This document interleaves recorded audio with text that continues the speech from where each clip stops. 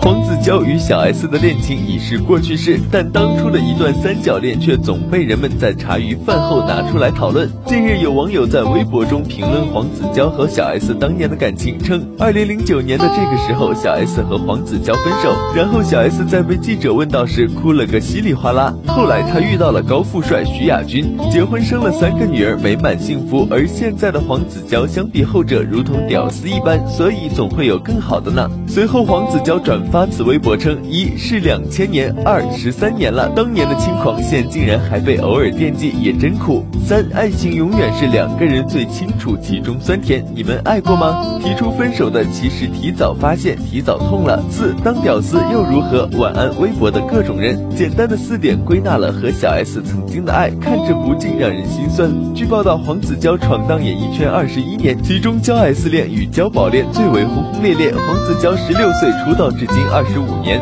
谈过九段恋爱。十三年前跟小 S、曾宝仪爆出三角恋情，让他千夫所指，演艺生涯跌至最低潮，甚至一度有轻生念头。如今事情已成过去，小 S 和曾宝仪已经言和，网友们也祝福黄子佼能早日找到那个对的人。